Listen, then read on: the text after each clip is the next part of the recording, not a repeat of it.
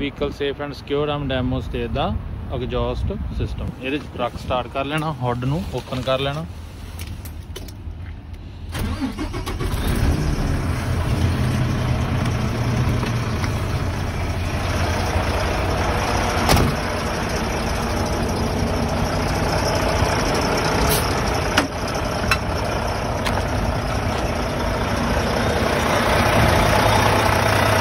ਇੱਥੇ ਦੇਖ ਕੇ ਨੋ ਐਗਜ਼ੌਸਟ ਲੀਕ ਦਾ ਸਟਾਰਟਿੰਗ ਪੁਆਇੰਟ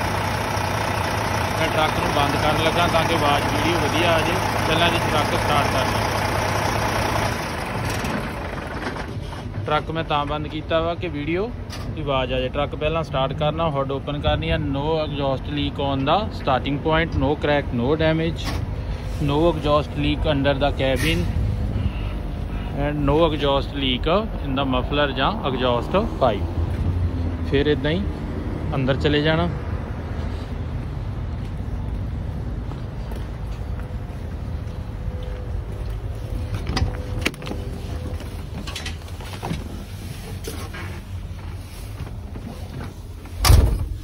ਅੰਦਰ ਜਾ ਕੇ ਫੈਨ ਨੂੰ ਫੇਸ ਮੋਡ ਤੇ ਕਰਨਾ ਪੱਖੇ ਨੂੰ ਫੁੱਲ ਕਰ ਲੈਣਾ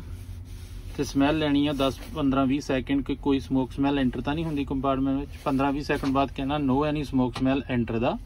compartment so mine is good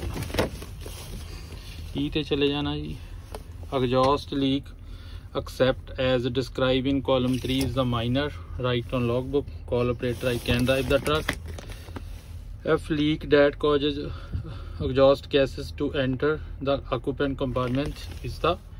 major defect write on logbook call operator i cannot drive the truck